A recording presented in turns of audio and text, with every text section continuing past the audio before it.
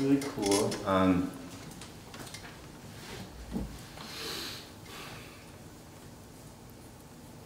so I don't know, it was a moment of complete, complete acceptance of how un, unlimited my unknowing is. right? That a complete, completely beautiful experience of being perfectly okay with knowing absolutely nothing. That's where I don't know came from. And it came as a mantra, like a rhythmic, repetitive mantra to, to sink deeper into, right? Excuse me. So,